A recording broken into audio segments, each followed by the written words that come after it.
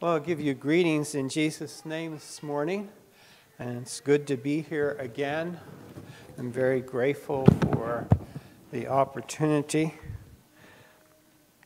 Um, and I want to continue uh, my series on the economics of the kingdom of God. We're looking at the new covenant. And doing that, uh, first of all, by looking at doing a survey of Luke's gospel and what Jesus has to say about economics in Luke's gospel. And if you remember, uh, earlier when we talked about the Old Covenant, we looked at how God structured uh, the nation of Israel so that people would have the capital they needed to provide for themselves. It was based on the idea that each person would work and provide for his own family and that there were periodic uh, readjustments um, in, because inequities would arise because of various circumstances. There were uh, readjustments in the Jubilees and the Sabbaths and so on, like that, the laws of gleaning. And of course, also the instruction to have an open hand to the poor. And then how God uh, brought judgment on Israel uh, in part because of its failure to follow that law, the, those commandments that had to do with how they were to structure their, their society, their economic life, and so on. Of course, that accompanied with that is idolatry and so on. But you know, I think when we think about that, uh, Paul does make a connection between idolatry and the pursuit of riches. We'll look at that later on when we look at what the apostles have to say about, about economics. Um, in the new covenant, of course, the kingdom of God is not connected with a physical territory, but is drawn from people of every tribe, kindred, and nation who are gathered into communities, into colonies of heaven here on earth. And they are governed by a king, who is Jesus Christ. And he is also, in a sense, our, he is actually our lawgiver who has given us commandments as to how we're supposed to work out the, what his kingdom means here on earth. And as we already saw, Jesus has quite a lot to say about how that works itself out in the whole realm of economics what we do with our possessions, what we do with our wealth, how we're supposed to use it, and how we're, whether we're supposed to have it or not, and if so, how we're supposed to use it. And so I looked first of all uh, in Luke uh, 4 and 6 about the poor, uh, who God had a special, um, a special um, concern for, and uh, we talked about who are the poor, and I ended my last, um, my last uh, message with the thought that, you know, we can sometimes um, throw up a smoke screen, or we can kind of try to avoid what Jesus is saying here by, you know, uh, playing around with, well, you know, we're rich. Everybody here in this country is rich, which is true in, the, in relation to the rest of most of the world and so on. And so, what do we do with that? Well, that is a question we have to answer. What do we do with it? But so many times that kind of argument is used to diffuse the situation, to kind of take the, in a sense, the strength out of what Jesus is saying by essentially saying, well, nobody's doing it, and so we shouldn't be so insistent upon this. You know, if we did that with the rest of what Jesus said, we would be right where the rest of professing Christianity is in our world today.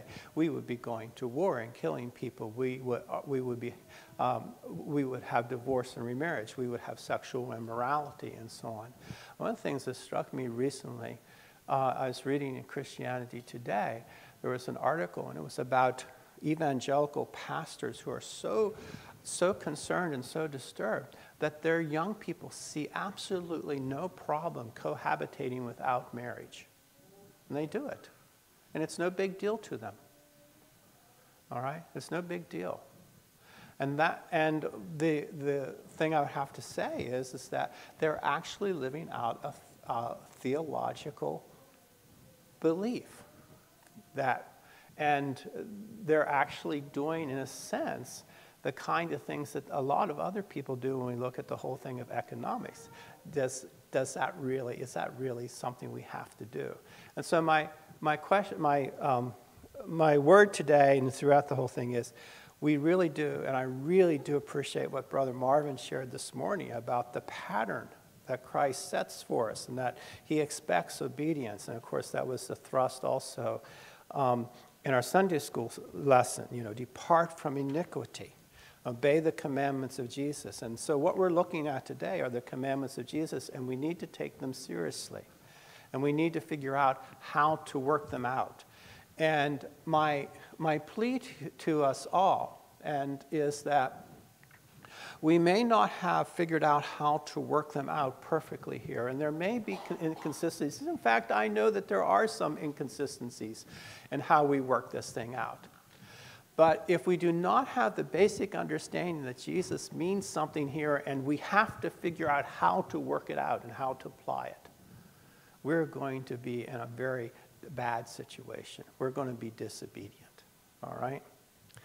All right, so um, this morning, I want to look at, continue looking at what Jesus says in the Gospel of, of Luke about, about um, the economics of the kingdom of God. The second point I want to make, the first point I made was about God's special regard for the poor. The second point I want to make is that Jesus talks about the deceitfulness of, of riches. In the parable of the sower, he talks about in Luke 8, verse 14. Now, the ones in describing uh, who are the ones that, who fell among the thorns. Now, the ones that fell among the thorns are those who, when they have heard, go out and are choked with cares, riches, and pleasures of life, and bring no fruit to maturity. Okay, he talks about, Jesus talks about how riches can deceive us. And why do they deceive us? Or why do they deceive us? Well, you know, we become attached to them. they provide us the kind of life that we feel comfortable, that we find pleasure. He talks here about the pleasures of life. And so we focus on that. And when something begins to kind of push in on that or say, you know, you need to uh, give up those pleasures of life. And if you think about it, you know, what is what is the, what is the root of a lot of immorality? Is it, not the, is it not seeking for pleasure, for gratification, oftentimes for instant gratification, but also sometimes for long term gratification? And we, we tell ourselves if we just have this, or we just or experience this, and we just gratify this desire, you know, it'll, it'll give us this sense of satisfaction. Well, the fact, the reality is that it doesn't because it's, it's kind of a, like an open pit or an open maw that just kind of uh, eats, uh, is never, never satisfied. But Jesus talks about those who've heard the word of God, okay, and they responded to it.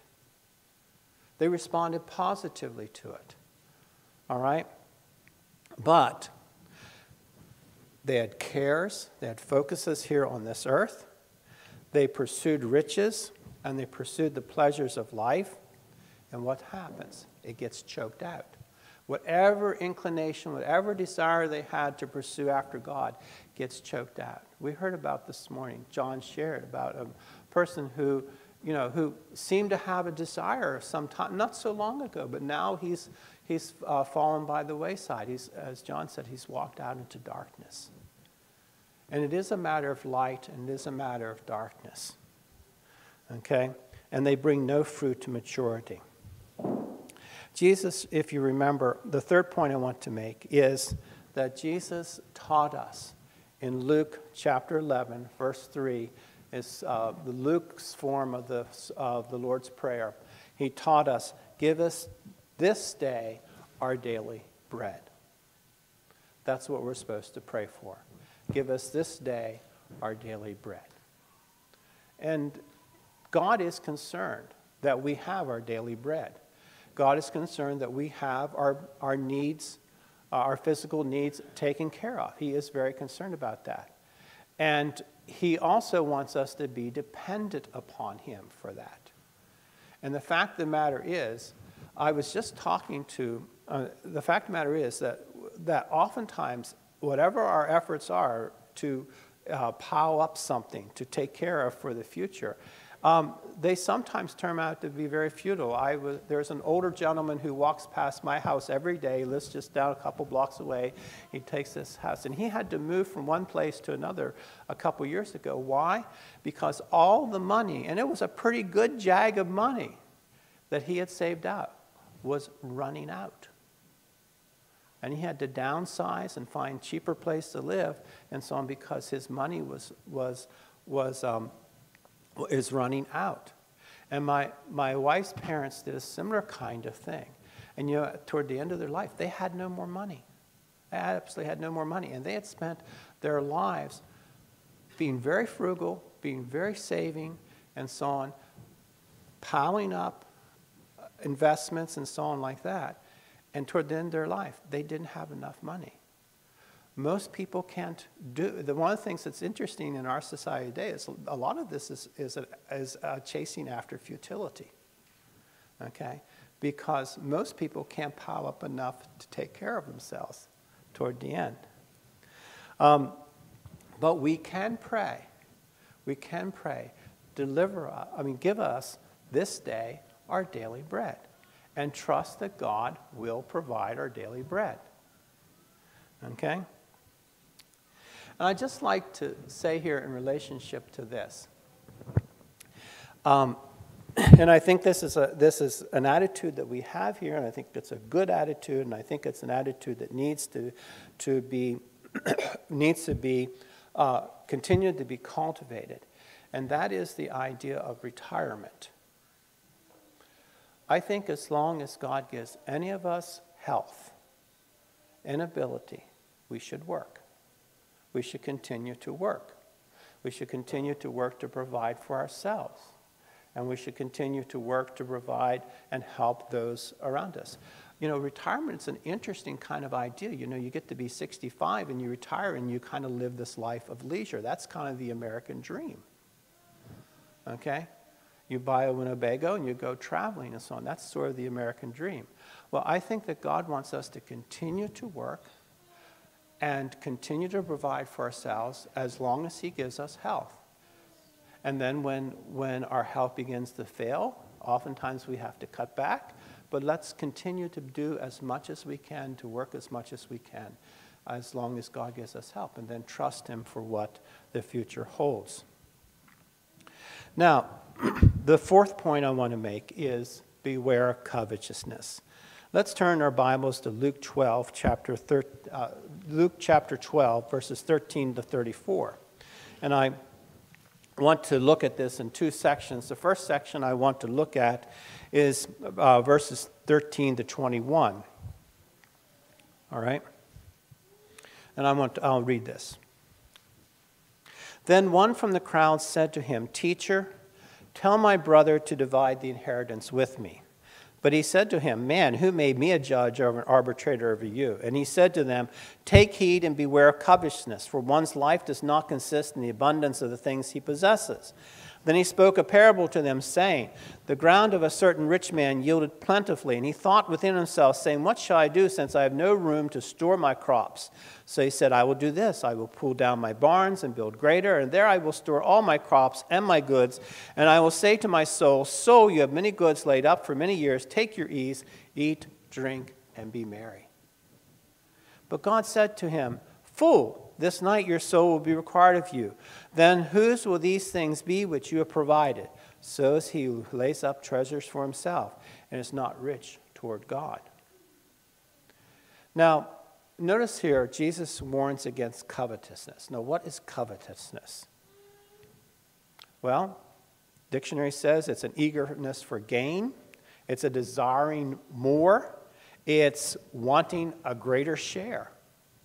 That's covetousness. Okay? And you know that one of the commandments in, in the Old Covenant was, Thou shalt not covet. All right? And it's interesting. We'll look probably at that a little bit more closely when we look at what the apostles have to say. But you know what, Paul, when he zeroes in on the sin that, that um, uh, in, in Romans, the sin that he has to deal. He talks about, I didn't know what it was until the law told me what covetousness was instructed me in it. Uh, so he focuses on, on covetousness. Now, you, you might think he talk, would talk about lust, and he does talk about lust. But covetousness is a form of lust. It's not a sexual lust, but it's a lust for things, it's a lust for possessions, and it's ultimately a lust for security, or maybe I should say, a lust for, for a false security. The idea that if we just pile up more and more and more and more, we can, like this G- person that Jesus talks about in this story, build a bigger barn, put it in, and put the stuff in, sit back, and enjoy it. And Jesus says, you know, you're a fool if that's your, if that's your purpose. Okay? Because you could die tomorrow, and then what would happen? Okay, what would happen? And I, I think about that. I, I, was just thinking about that recently. Um, and in, more, in recent years, I have, been, I have thought a lot more about death and dying and my own mortality than I did 10 years ago. Part of it is, is I have all these things I want to get done. There's a few books I'd like to write yet, and I don't know if I'll ever get them done. I'll probably research until you know the nth degree and get it all together, and I'll die. That's what I think is probably going to happen. I think about that. I think about that. That's, that's, a, that's a sobering thought. We go pursue all this stuff and so on, and then you know what? You could die. I, I think about that, and, and I, don't, uh, I don't mean this in any bad way. I just, I just I thought about that with Brother Lynn. You know, he built that addition for his family, and then he died. I always just thought it was so sad. He had this idea that he was going to some, he had this nice, was going to have nice little shops, so later on he could do some woodworking and do some things like that. And then he died, and he never got to do it. And that's so sad. But that is what life is like. I'm not saying he shouldn't have built a shop. It was probably, you know, down the road. He, if he lived, he would have done that. It would have been a fine thing to do. But life is uncertain. Life is so uncertain. Okay? We just heard a while ago about a woman. I mean, she was younger than I. We knew people. We knew her. Know her husband. Grew up in this community. She had an aneurysm and she died in her mid 50s. Okay, death is very unpredictable. You go down, I, I work with a woman who has been a widow for about 30 years. Her husband was killed in an automobile accident. She raised her children by herself. She never expected that. Death is a reality. Okay? And so Jesus, Jesus tells us here that to bank on doing all piling up all this stuff in the anticipation that you're going to be able to sit back on your hunkers and eat, drink, and be merry. It's a, he says you're a fool if you do that. That's not what your focus is supposed to be. All right? He says, Beware of covetousness. Um, and he says, So is he who lays up treasure for himself and is not rich toward God. Well, what does it mean to be rich toward God? What does it mean to be rich toward God? There is, there is a treasure that we are to accumulate. There is a pile we are to pile up. There is a richness. There is a richness that we are to, to uh, gather and have, and that is the richness toward God. This points to the fact that the pursuit of our life has to be focused on God and what His will is and what His kingdom is about. That's what we're supposed to be focused on.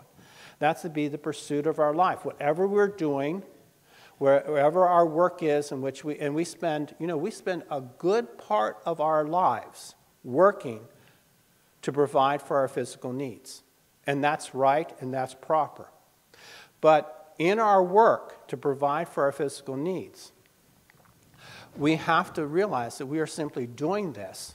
We're, we're doing this because it's all part and parcel of our pursuit for God's kingdom. Okay? And I just think about the opportunities that we have, particularly in our work, particularly for us men in our work.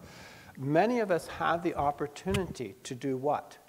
Meet people, encounter people. Okay?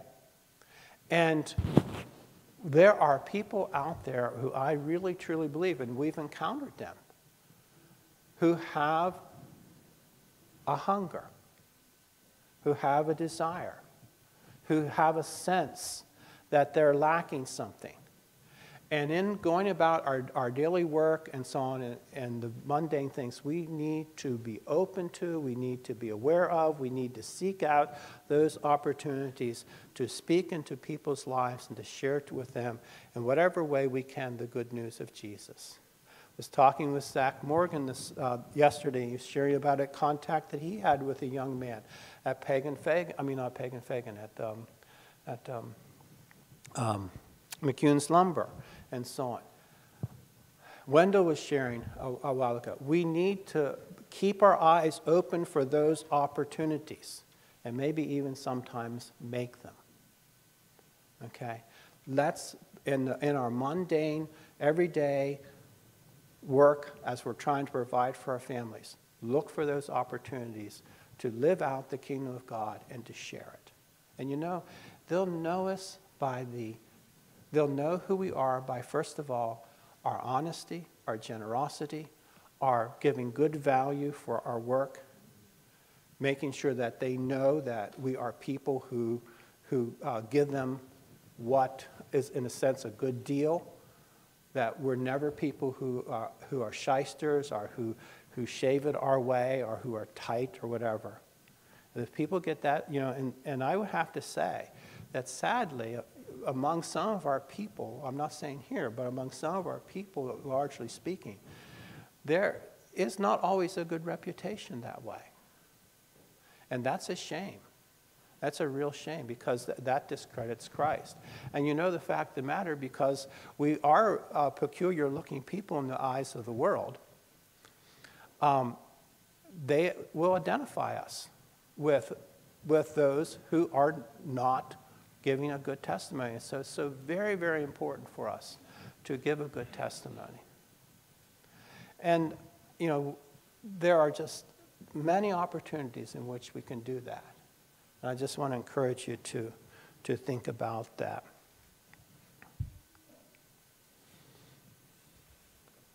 Let's then look at verses 22 to 34. Then he said to his disciples, Therefore I say to you, do not worry about your life, what you will eat, nor about the body, what you will put on. Life is more than food, and the body is more than clothing. Consider the ravens, for they neither sow nor reap, which have neither storehouses nor barn, and God feeds them. Or how much more value are you than the birds, and which of you by worrying can add one cubit to his stature? If you then are able to do the least, why are you anxious for the rest? Consider the lilies, how they grow. They neither toil nor spin. And yet I say to you, even Solomon in all his glory was not arrayed like one of these. If then God so clothes the grass, which today is in the field and tomorrow is thrown into the oven, how much more will he clothe you? O you of little faith. And do not seek what you should eat or what you should drink, nor have an anxious mind. For all these things the nations of the world seek after, and your Father knows that you need these things. Okay? Who's he talking about to here?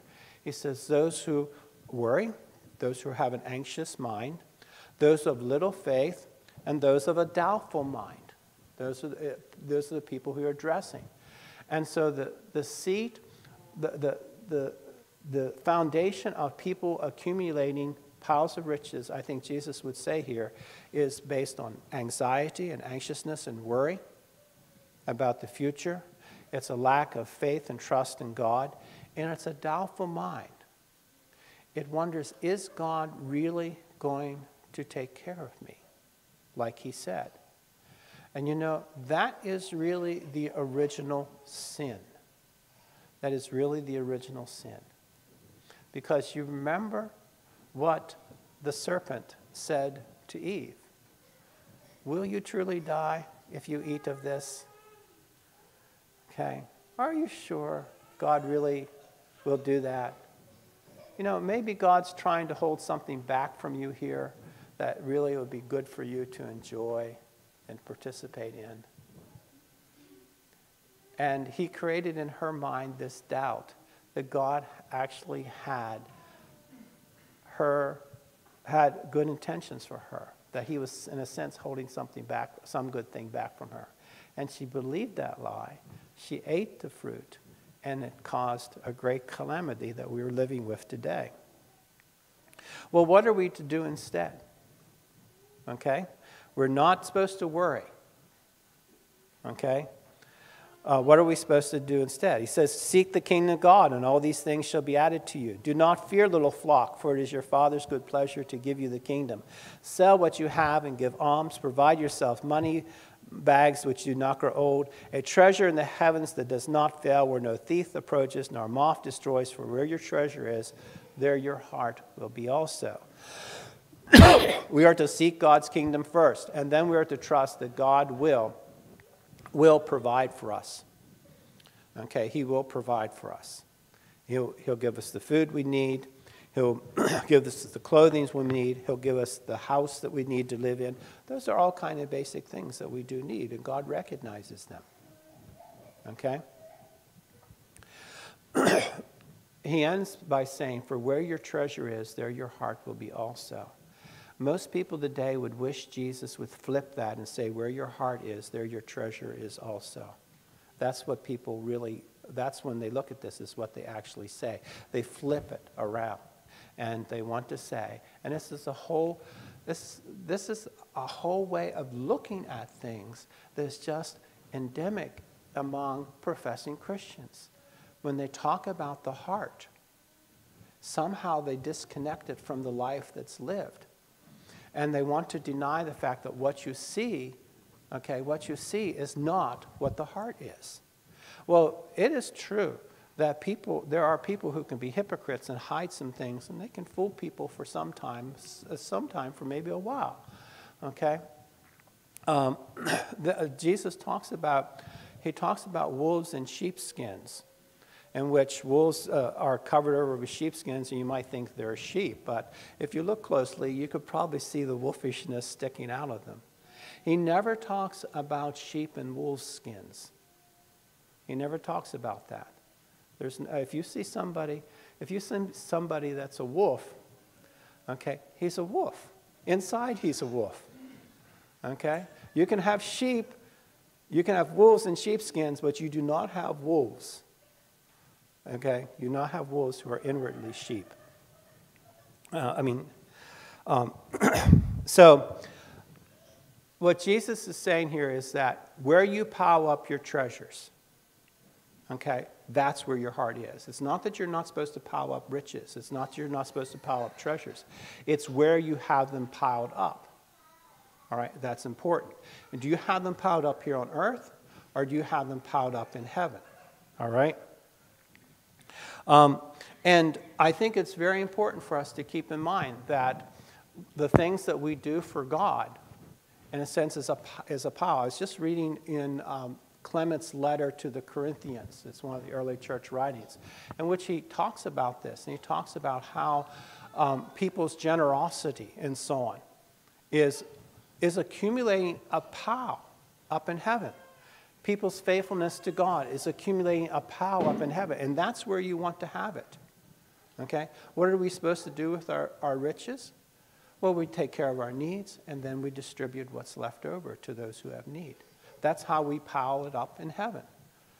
And you know, if you think about it, that's really what Jesus did for us. Out of his riches, okay, he made them, they made, uh, he provided for our salvation.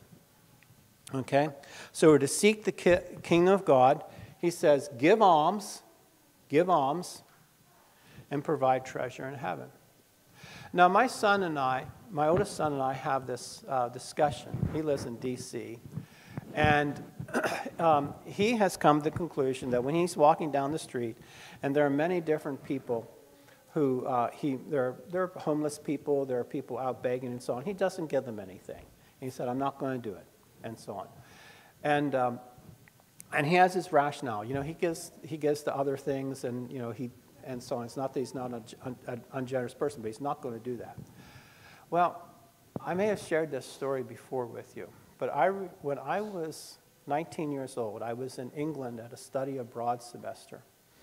And I went to church that morning, and this is a large church, and I came out of the church, and there are all these beggars there. And this one man came up to me, he's a middle aged man. He was kind of scruffy looking.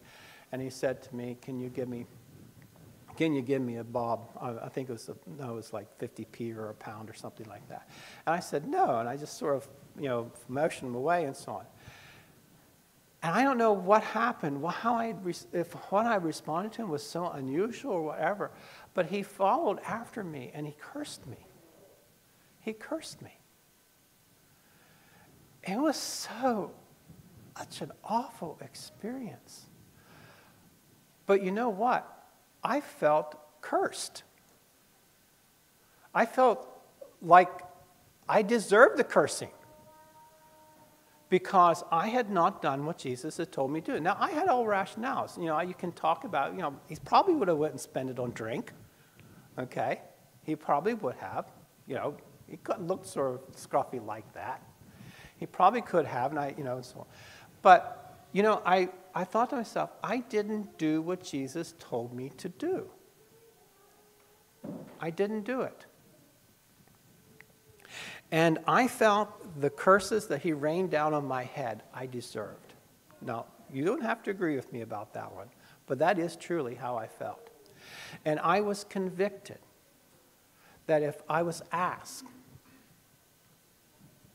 if somebody came up to me and asked me for something, I would give them something. I didn't have to give them everything they asked. I may not have to give them, um, may not have to give them what they ask. Maybe I could give them something else. But I would not just turn them away empty-handed.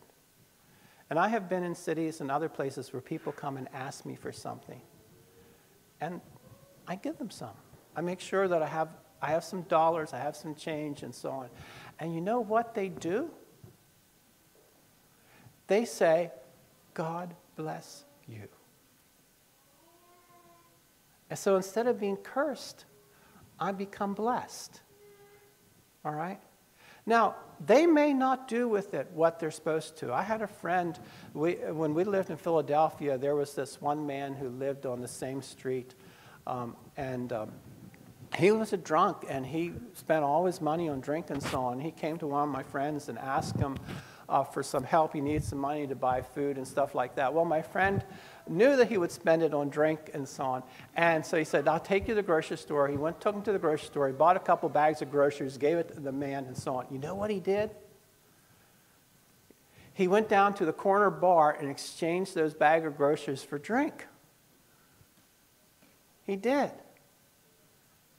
You can't stop people from doing with whatever you give them you have, really have no control over it. You can only hope that if you help them, they then might use it for what God intends it to and what you intended to. But in the end, you have really absolutely no control over it once you give it to them. But you know what? If God was parsimonious with us, you think about it. Who did Jesus die for? He died for the whole world. He shed his blood for the whole world. Does the whole world respond positively to that? No, it doesn't. Most of the world does not. Does that mean that Jesus wouldn't have, have died for them? Well, of course, he died for them. Does that mean that they have done with what he gave them, this great gift, what he gave them, they have done with it? No, he hasn't, they haven't done that. All right? In fact, Jesus tells us that the rain falls on the just and the unjust. God gives good things, even to those who are evil. He showers his benevolence, his, his kindness, and his love and mercy upon them. And Paul tells us that while we were yet God's enemies, Jesus died for us. Not for a good person did he die, but for those of us who are evil. And it's only through such prolific profligate spending of himself that any of us can be saved. All right? So, what I'm saying to us here is that let's trust that if we do what God tells us to do, yes, people may not respond the way they should to that. But you know, some might, some will and we will have done what Jesus tells us to do. All right? Have an open heart, an open hand, you know, and, and think of ways in which you can demonstrate to people your love and your kindness. I think about that when we go to the room, you know, what we're giving. So far, we've seen very, very, very little fruit for that. Okay? We've seen very, very little response to it. But I think we continue to do what we are doing. Why? Because if anyone who comes there is going to respond to the gospel, it's only going to be because we were there and we're doing what we're doing. Okay? And we may spend a lot of effort, a lot of time, and so on doing it. And there may not be that much return, but it's the only means by which anybody will come. Anybody will have a chance. And you just think about what Jesus did, how much he spent, and how little small return he has gotten for his investment in the sense of people who are responding to him. But yet, he was willing to pay that great price. Now, using your money for the kingdom. Luke 16, verses 1 through 8. Starting at verse 1 of Luke chapter 16. He also said to his disciples, There was a certain man who had a steward, and an accusation was brought to him that this man was wasting his goods. So he called him and said to him, What is this I hear about you? Give an account of your stewardship, for you can no longer be a steward. Then the steward said within himself, What shall I do? For my master is taking the stewardship away from me. I cannot dig, I am ashamed to beg. I have resolved what to do, that when I am put out of the stewardship, they may receive me into their houses. So he called every one of his master's debtors to him and said to the first, How much do you owe me? And Oh, my master, and he said, A hundred measures of oil. So he said, Take your bill and sit down quickly and write fifty. Then he said to another, And how much do you owe? So he said, A hundred measures of wheat. And he said to him, Take your bill and write eighty. So the master commended the unjust steward because he had dealt shrewdly, for the sons of this world are more shrewd in their generation than the sons of light. And I say to you, make friends for yourselves by unrighteous mammon, that when you, fa- when you fail, they may receive you into an everlasting home. He who is faithful in what is least is faithful also in much, and he who is unjust in what is least is unjust also in much. Therefore, you have not been faithful in the unrighteous mammon, who will commit your, to you your trust the true riches. And if you have not been faithful in what another man is another man's, who will give you what is your own? No servant can serve two masters, for either he will hate the one and love the other, or else he will be loyal to the one and despise the other. You cannot serve God and mammon. Now, the Pharisees, who were lovers of money, also heard these things, and they derided him. Now, this might be a puzzling parable for you. All right? And the reason why it might be puzzling is because you want it to do too much. All right? One of the temptations with parables, and it's a little bit like the whole thing where we talked about the household uh, vessels honor dishonor. You, you have to make sure you're not trying to make a metaphor analogy do too much work. All right? there may only be one connection that's being made here. Okay? Jesus is certainly not saying that you should cheat, if you're working for somebody, you should cheat your boss. He's not saying that. We know he's not saying that. Okay? But that's what this guy did. He cheated his boss. Why? He cheated his boss because he knew he was in trouble, and so he cheated him. He had been cheating him, but now he cheated him even further, so as to buy friends for himself, so that when he was out on out, kicked out of the house of his of his employer or of his master, he had some place to go. All right? He showed a remarkable sense of self preservation, didn't he? All right? Uh, and Jesus said, This guy is wise like a serpent. He's wise like a serpent. All right? He figured out what he needed to do to take care of himself. All right? So it isn't that Jesus is saying you should, if you work for somebody, you should cheat them. That's not what he's saying. Okay? He's saying, show some wisdom here. Just show some sense. All right? All right? Use your unrighteous mammon. Okay? Use your unrighteous mammon to buy friends for yourself. Okay? And that's not so, that's not so much that we're doing it it's that we're doing it for ourselves, selves, for our selfish reasons. Okay? But everything that we give to help someone out who is in need, we are using unrighteous mammon to buy friends for ourselves, and more importantly, we are, buying un, we are using unrighteous mammon to buy friends for the kingdom of God, to create receptivity on the part of people to the message of the kingdom of God. You all get the CAM newsletters, don't you? What's the constant theme? People are helped out with food, with clothing, with firewood, with whatever it is. And what do they do? They're grateful. And they're grateful for the people who have been helping them. They're grateful to us in sort of an indirect way. And by doing that, we have bought friends for the kingdom of God. People who, because they have experienced the generosity of Christians, are open, become open to the gospel, to the Christian message. Now, it's not an exact correlation, and some people can walk away from that and they can just, oh, just kind of be thankful and, and never consider it. But it opens doors. It can open doors, it can create a, a receptivity. And that's what we should be focusing on. How can we create this receptivity to the good news of the kingdom of God? Well, it's by demonstrating the generosity of Jesus Christ through the generosity of his people. All right? So use it in that way. Use it to build up the kingdom, kingdom of God. And you know, the other thing I think about, though, is that it has to not be focused on us and for our own self. Uh, remember, Jesus uh, talked about, about uh, people who like to do their alms before man and they get the recognition and so on like that.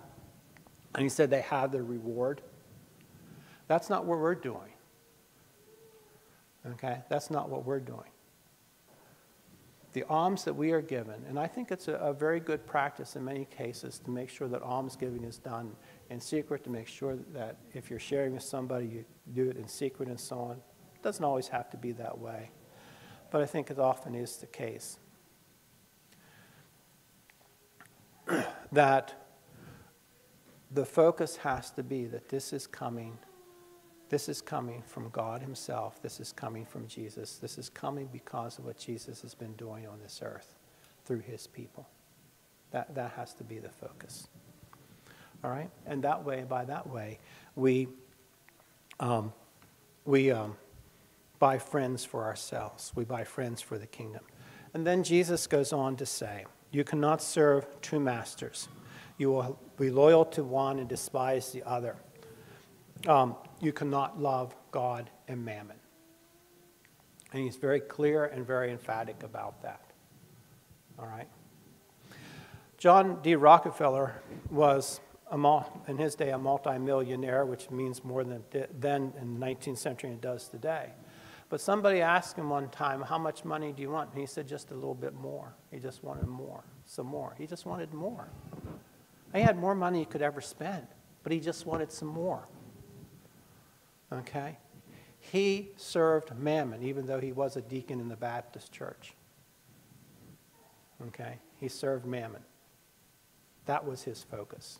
It wasn't the kingdom of God. All right, I want to finish up by looking at the rich young ruler in Luke chapter 18, 18 to 30. Jesus says, It's hard for a rich man to enter the kingdom.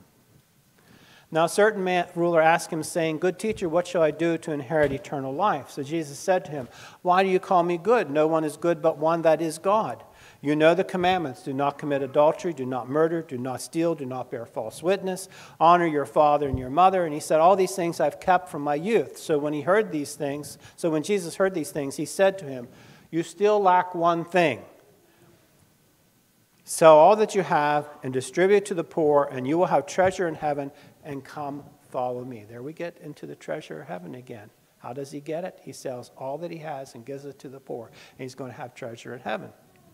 All right? In case you're wondering what Jesus meant when he said treasure in heaven. All right?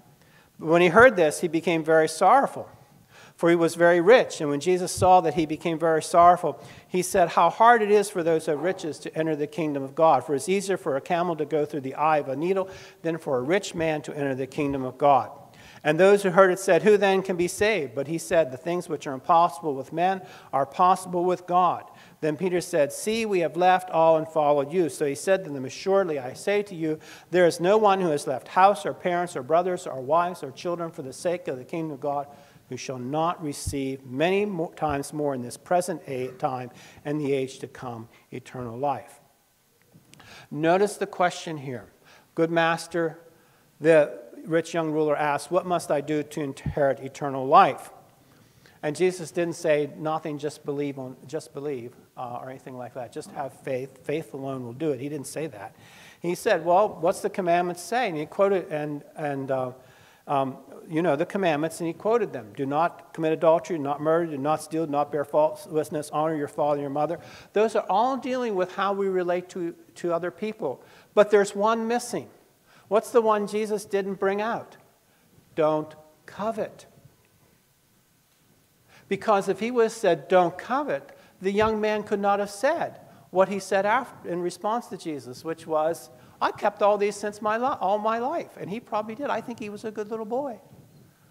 Probably somebody we'd all be proud to have as a son. Fine, upstanding young man. All right? But Jesus said, You lack something. What is it you lack? You're covetous.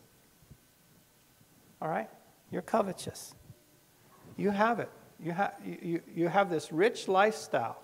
And it's, it's made possible because of this accumulation. It may not even been something he accumulated. It may have been something his parents accumulated or his grandparents accumulated. Okay, it may have been inherited wealth. And that uh, brings up a very interesting question. What do we do with inheritances? What do we do with them? All right, I'm not going to answer that this morning, but it's a question we need to think about. Okay? Well, you know, today, being good Christians, we wouldn't say, Well, I've kept all the commandments. Uh, a professing Christian would say, Well, I'm washed in the blood. And that is certainly important to be washed in the blood. Okay? But it's Jesus saying to us, You still lack one thing, sell all that you have, give the poor, and come follow me. Being washed in the blood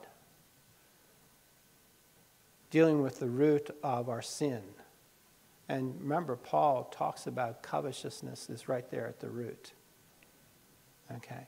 The whole purpose of being washed in the blood is to prepare us to be vessels of honor who have put away iniquity and who are following Jesus. Okay? Being washed in the blood is not just to get us into heaven, okay? But it's to prepare us to follow after Jesus. Now, this young man heard this, and what did he want? He wanted eternal life. What must I? He sensed that there's something else that he had to do. Otherwise, he would have felt very, very comfortable with his performance thus far. But he sensed there was something he still was lacking. And Jesus told him what the thing was that was lacking. Did he want eternal life? No, he did not. In the end, he did not want eternal life because he was not willing to do the thing that Jesus told him he had to do to have eternal life, which was to sell everything he had, give it to the poor, and come follow me. What did he do? He turned his back on Jesus and he walked away. And you know, Jesus looked at him and he was sad. He was sad for this young man. And I think about how many people Jesus is sad about who have come to him and say, Yes, Lord, I want to, I want eternal life. I want to, I want to be yours. What do I have to do? And Jesus tells them what they have to do. And they say, That's too much. I can't do that. I want to hold on to these other things. And they turn away and they walk away. And Jesus' attitude to those persons are the same as he was to this young man. He's sad. It saddens him, it grieves him. Because this young man has turned his back on the very thing that he says he wants. And it is the thing, in some sense, he really wants. Because in us, there is this thing that God has placed in us that wants that. The question is are we willing to give up what God says we have to give up to have it? And this young man walked away and said no. And Jesus says how hard it is for a rich man to enter the kingdom of heaven. It's harder than for a camel to go through the eye of a needle. Now, I've heard, if you read commentaries, which are interesting, they tell you this story about how in Jerusalem there's this city gate that's just a little small little thing. It's really low, and for a camel to get through it, they have to unburden the camel and they have to get it hung down on its hunkers, and it just kind of worships its way through. The only problem is that that wall was not built until, I don't know what, the 10th century or something. It wasn't even around then. Somebody in the 19th century, some, some Arab tour guide told some gullible European Christian that that's what it was, and they, they went back home and wrote about it, and every commentator since then has picked up on it. That's, what I, that's my supposition. Okay? That's what I think happened, because that's how things like that happen. A lot of things happened like that in the 19th century. It's, it's all part of parcel of George Washington cutting down the cherry tree. It's that kind of mythology. All right, we all know he didn't do that, right? Now, I think Jesus was, in a sense, using a metaphor here, but using it fairly, fairly almost literally. Okay?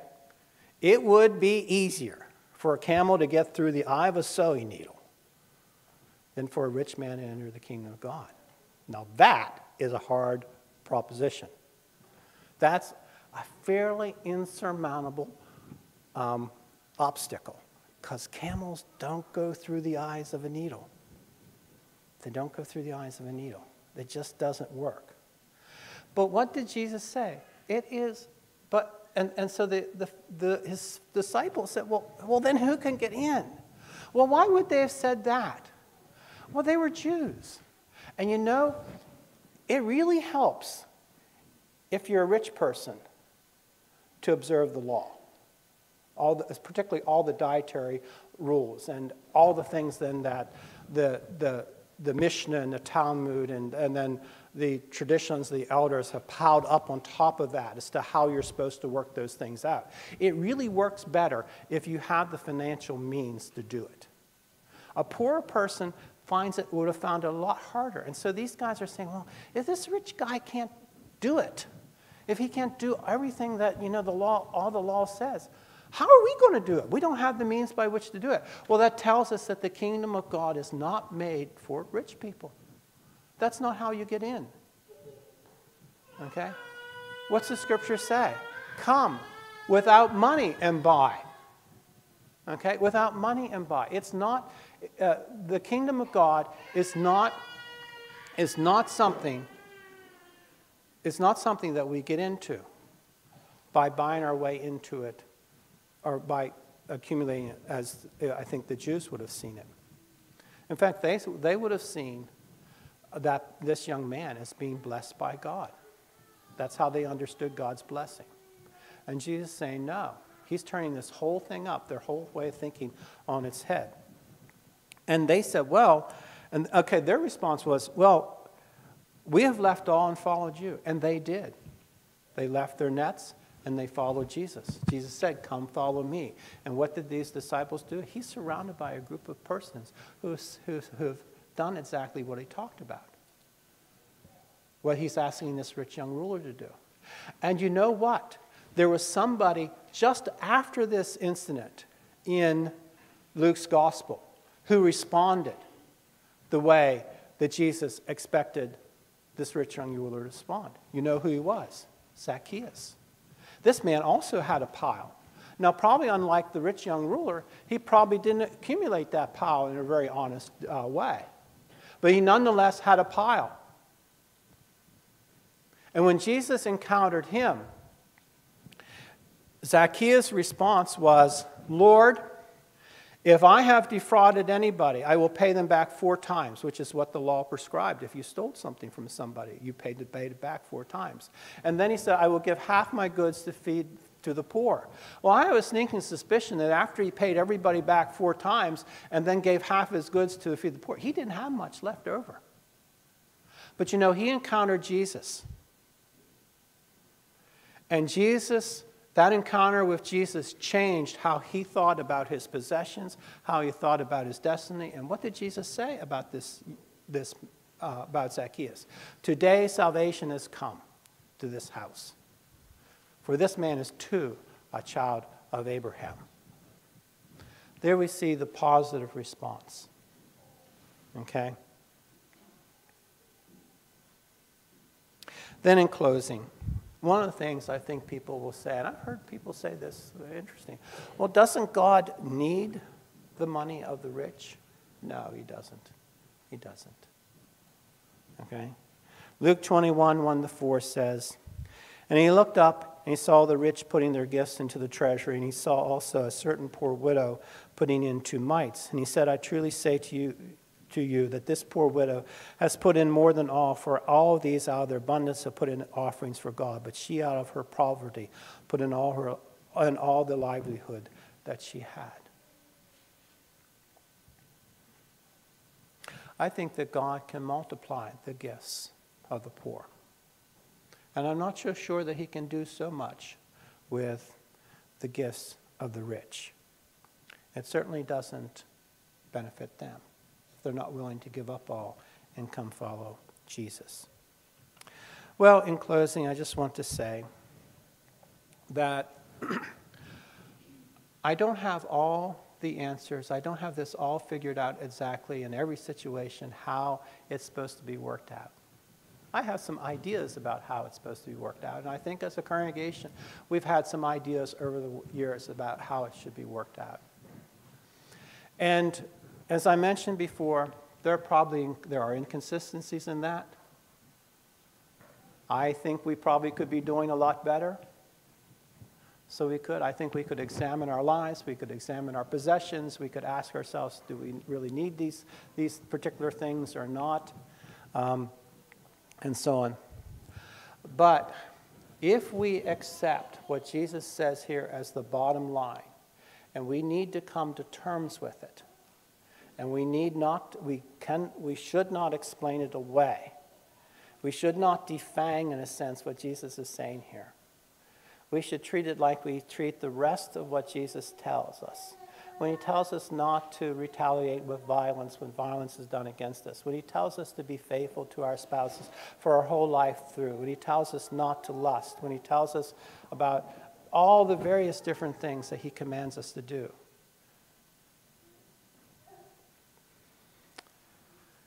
The genius of our tradition is that we have taken seriously the commandments of Jesus, where other professing Christians have not. Now, that's no credit to us. It's a gift, actually, if you think about it. And it's a gift that we should share, and it's a gift we should not be ashamed of. If you think of it in that way that what we have been given is the understanding that we take seriously the teachings of Jesus and we cannot explain them away, we cannot put them aside. That is a gift that has been given to us that not everybody has. And it's a gift that we need to accept with gratitude and thanksgiving. But it's a gift that we need to perpetuate. And it's a gift that we need to pass on. And it's a gift that we need to work out in more increasing ways in our own lives, in our own experiences.